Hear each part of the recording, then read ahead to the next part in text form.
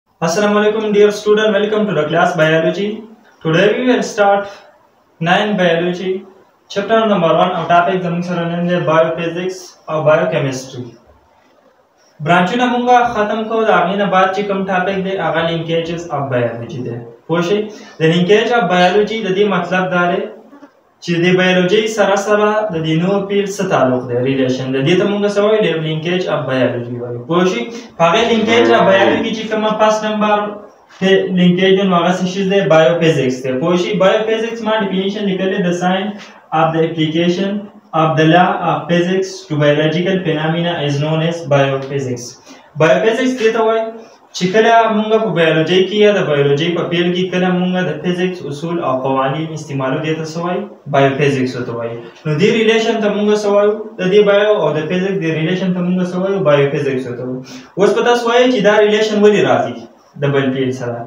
ځکه چې په بایولوژي کې سداسي پرابلم سداسي مسالې دي چې هغه اونلي په بایولوژي کې نه حل کیږي پوه شئ د هغې لپاره د نور پیل سره ضرورت دی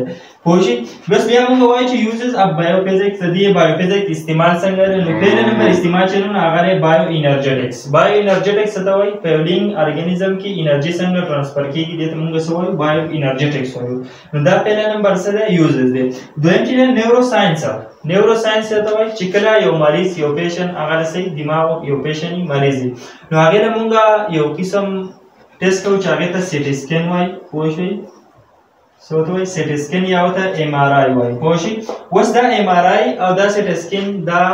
د څه په اصولو کې جوړ شوي دي دا د فزیکس په اصولو کې جوړ شوي دي پوه شي نو دا دویم نمبر یوز شو اوس دریم نمبر چې کومه یوز ده نو هغه فارماکالوجي ده فارماکالوجي موږ څه ته وایو د سټډي اف ډرګس ته موږ څه وایو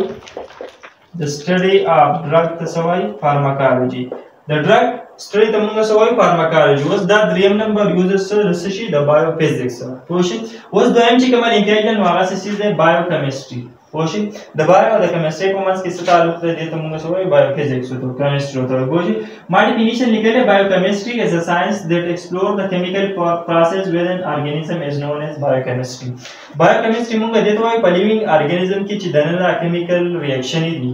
پوه شئ دا څه په ترو باندې دي دا کیمستري په ترو باندې دي دې کوم ریاکشن ته موږ څه وایو بایوکیمستري ورته وایو لکه پاس نمبر کومه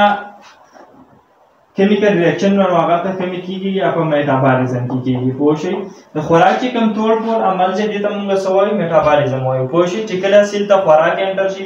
او د هغې سره سره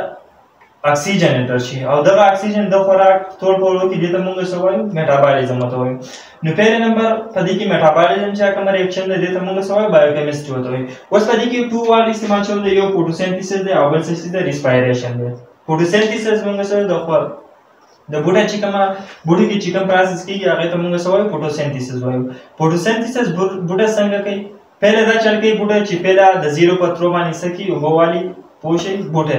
بیا سچل وکي بیا د نور سنلایټ ضرورت وته بیا سنلایټ نه علاوه بیا تر څه ضرورت دی کاربن ډای اکساید چې کله دا درې سوزونه راویزیشن د دې په بدلا کې موږ لسره کوي اکسیجن راکې پوه شي څه شي بوټه دویم چې هغه څه شي دی ریسپایریشن دی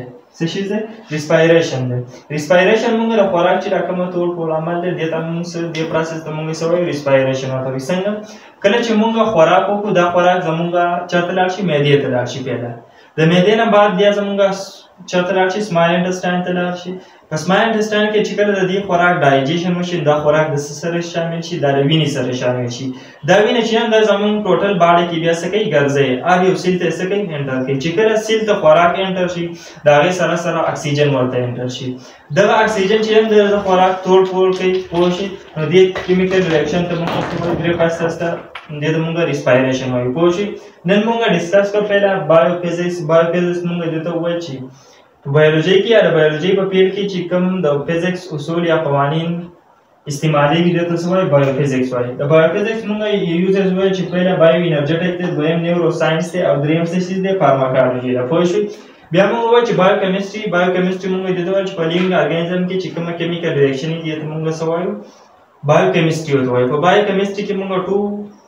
سخت واړویل یو چې یو چې فوټوسنتیسز دی او دویم چې کوم پروسس د فوټوسنتیسز دی ریسپایریشن دی پوه شي